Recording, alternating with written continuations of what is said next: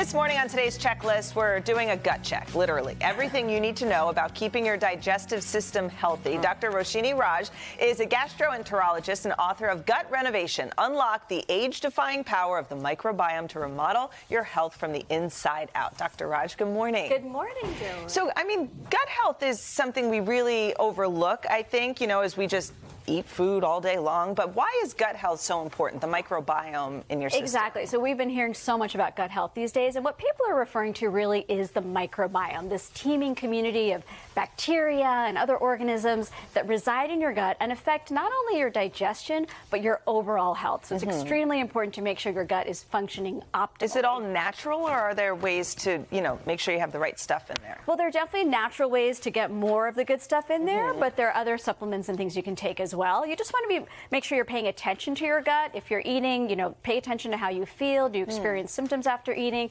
And uh, on the other way out as well, make sure you're taking a look at everything. And so it's sure all connected. All connected. Yes. Okay. Exactly. Uh, so, Dr. Asher, what happens if if your gut and your microbiome are imbalance, so to speak. Right. So, of course, you're going to, you know, experience some things like gas and bloating, perhaps abdominal pain, bowel irregularity. But what's really interesting is a gut imbalance can affect so many other parts of your body. You might notice differences in your mood sure. or concentration. Mm. Your immunity, 100% can be affected. There's a very clear connection between the immune system and the gut. Even things like weight gain and metabolism can be affected, and sleep. You know, um, all of these things can be affected by an imbalanced gut. What throws your gut off balance? Yeah. Well, first of all, antibiotics are a big killer of good bacteria as well as the bad bacteria you're trying to get rid of. So be very oh. wary about when you take antibiotics. Do you really absolutely need them? And how we're eating. Processed foods, which sadly is part of the standard American diet for many people, that can really wreak havoc on your gut Processed well. foods, Processed always foods. the enemy. Correct. Let's talk about prebiotics and probiotics. I think most folks have heard of probiotics. Yes. Prebiotics, the term itself was new to me. Yes, exactly. So prebiotics, this is whatever will foster the growth growth of your good probiotics. Okay. So think of it as like sort of fertilizer for your good bacteria. and then the probiotics, of course, are the, are the actual good bacteria. We have some examples here of foods that contain prebiotics. So these are foods with prebiotics. Exactly. Okay. Berries, asparagus, bananas, artichokes, you know, these are all great things. Garlic that are serve as hmm. prebiotics to foster the growth of probiotics in your gut.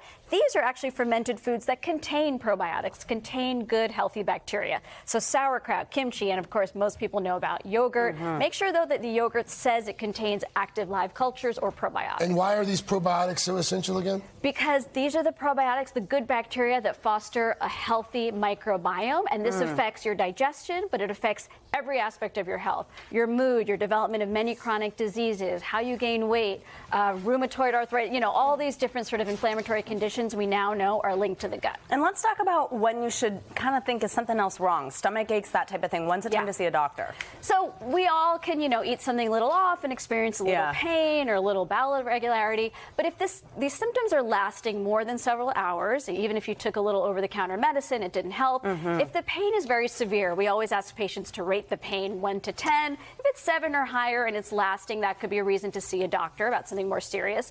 Of course, if you're having persistent vomiting or diarrhea, that mm. can lead to dehydration, so you want to get medical attention.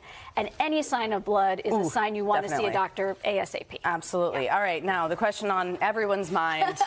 Tell us about yes, healthy bowel movements. The holy grail, the healthy bowel movement. Okay, so I don't want people to get too hung up on I have to go like clockwork every single day.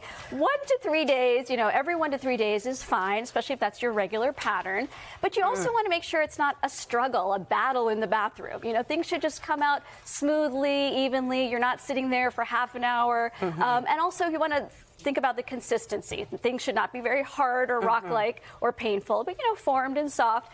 And then pay attention to the color. I mean, a lot okay. of people don't even look. So my, I guess one tip is just please look and look at what's going on down there. Um, and you want to make sure it's not, you know, anything red or yellow or pale or, or green as well. Definitely. Yeah. You guys make all the first time fill-ins ask the questions? No, well, you know, I, I, you handled it like a broadcast pro. Yeah. That'll Such be a, a nice pro. meme. Well done. Exactly. It is very important. Thank you so much. Thank, Thank you. So important. Thank you, Dr. Raj. Good to You're see welcome. you. Welcome. Hey, thanks for watching. Don't miss the Today Show every weekday at 11 a.m. Eastern, 8 Pacific on our streaming channel, Today All Day. To watch, head to today.com slash all day or click the link right here.